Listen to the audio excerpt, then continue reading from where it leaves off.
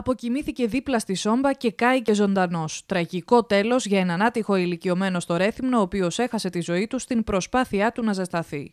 Πρόκειται περί ατυχήματο. Καθότι υπήρξε μέσα σόμπα.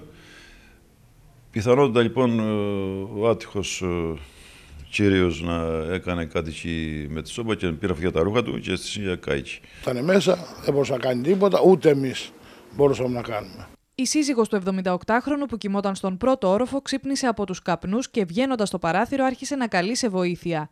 Έντρομοι γείτονες ειδοποίησαν την πυροσβεστική για τον άτυχο ηλικιωμένο όμως ήταν ήδη πολύ αργά. Οι πυροσβέστες που έσπευσαν στο σημείο ήρθαν αντιμέτωποι με ένα τραγικό θέαμα.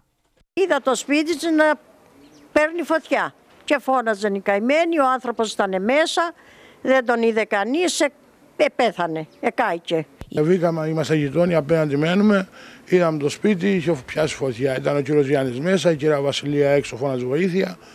Ε, ρίξαμε τρεις κουβάδες νερό, τίποτα παραπάνω μπορούσαμε να κάνουμε. Είχαμε από γείτονα περίπου 3 και 15. Η υπηρεσία βέβαια κατέφτασε άμεσα και κατά τη διάρκεια κατάσταση εντοπίστηκε ο άτυχος ηλικιωμένος. Η σύζυγος του άτυχου ηλικιωμένου απεγκλωβίστηκε με ελαφρά τραύματα, ενώ οι πυροσβέστες κατάφεραν να κατασβέσουν τη φωτιά στις 6 το πρωί, χωρίς ευτυχώς να επεκταθεί σε διπλανά σπίτια. Η σύζυγος, ε, από ό,τι ξέρω, ειδοποίησε τους γείτονες.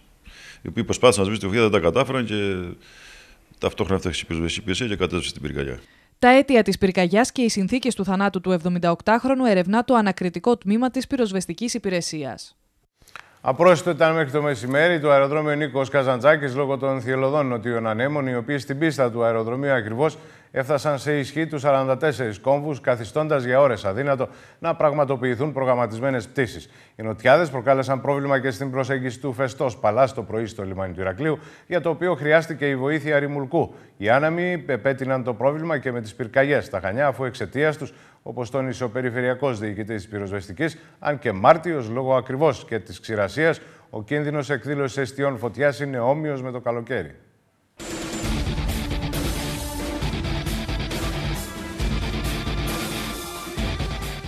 Σοβαρά προβλήματα δημιούργησαν οι ισχυροί νοτιάδες σήμερα στο αεροδρόμιο Ηρακλείου. Τέσσερις συνολικά προγραμματισμένες πτήσεις δεν κατέστη εφικτό να πραγματοποιηθούν, ταλαιπωρώντας τους εκατοντάδες επιβάτες που σε μεγάλο βαθμό εξυπηρετήθηκαν από επόμενες πτήσεις. Η πρωινή πτήση της Άιπρους έγινε κανονικά. Τώρα σε 9 η ώρα και 10 υπήρχαν άλλες δύο πτήσεις, μία της Ολυμπιακής και μία της Αιτζίαν, οι οποίες δεν μπόρεσαν να προσγειωθούν εδώ. Γυρίσαν στην Αθήνα. Η Ολυμπιακή έχει άλλη μία πτήση τώρα στις 11 η ώρα, 11.30 η ώρα. Έχει μεγαλώσει τα αεροπλάνα από την Αθήνα. Αν, ε, πέσουν, αν πέσει λίγο άνεμος, θα έρθει, οπότε θα καλύψει και τον κόσμο της Ολυμπιακής που ακυρώθηκε. Οι κόμβοι έφτασαν τους 44 και η αδυναμία προσέγγισης και προσγείωσης των αεροσκαφών δημιούργησε ντόμινο ακυρώσεων. Περιμένουμε στα αεροδρόμια να δεν πετάνε τα αεροπλάνα. Οι συνθήκες βελτιώθηκαν προς το μεσημέρι, όπου άρχισαν και πάλι να εκτελούνται κανονικά οι πτήσεις. Σύμφωνα όμως με την Εθνική Μετεωρολογική Υπηρεσία, οι άνεμοι που αλλάζουν κατεύθυνση αλλά με την ίδια ένταση θα αρχίσουν να κοπάζουν οριστικά από το μεσημέρι της Παρασκευής. Για μία ώρα προσπαθούσε το Κνωσό Παλάς να μπει στο λιμάνι του Ηρακλείου και τελικά για να το καταφέρει λόγω των νοτιάδων χρειάστηκε η συνδρομή Ρημουλκού. Είχαμε κάποια μικροπροβλήματα. Μετά τις 6.30 το πρωί επικράτησαν δυνατοί άνεμοι ε, με ρηπές ε, μέχρι 45 κόμβους με αποτέλεσμα το επιβατικό γνωστός παλάς ε, να μην μπορέσει να προσδέσει με την πρώτη προσπάθεια. Ε, ξαναβγήκε έξω από το λιμάνι, έμεινε για μία ώρα περίπου μέχρι που κόπασαν οι άνεμοι και μετά τις 7.30 προσέδεσε με ασφάλεια στο λιμάνι του Ηρακλείου. Οι επιβάτες κατάφεραν να αποβιβαστούν με μία ώρα καθυστέρηση, δίχως πάντως να υπάρξει κάποιο άλλο πρόβλημα. Οι ισχυροί νοτιάδες έθεσαν σε επιφυλακή την πυροσβεστική υπηρεσία. Οι πυρκαγιές, κυρίως στη Δυτική Κρήτη, εκδηλώνονταν η μία μετά την άλλη. Δυστυχώς, λόγω των συνεχόμενων νοτιάδων που πλήττουν την περιοχή της Κρήτης, υπάρχει μια σχετική ξηρασία, μπορώ να πω και λόγω του ότι δεν έχει βρέξει με αποτέλεσμα η συμπεριφορά των πυρκαγιών να είναι περίπου σαν το καλοκαίρι. Αυτό σημαίνει λοιπόν ότι είναι πάρα πολύ επικίνδυνες οι πυρκαγιές και τώρα, παρόλο που είναι Μάρτιος μήνας. Και γι' αυτό ευχαριστώ την προσοχή σε όλους που πάνε να κάψουν ξύλα στην Ήπεθρο, υπολείμματα καλλιεργιών ή οτιδήποτε άλλο. Αυτή την περίοδο που έχουμε τους νοτιάδες να μην τα καίνε.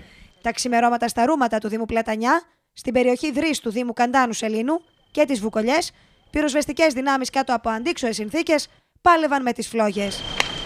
Και οι δύο φωτιές αποτέφρωσαν εκτάσεις με χορτολιβαδική έκταση, χωρίς ευτυχώς να απειλήσουν σπίτια ή κατοικημένες περιοχές.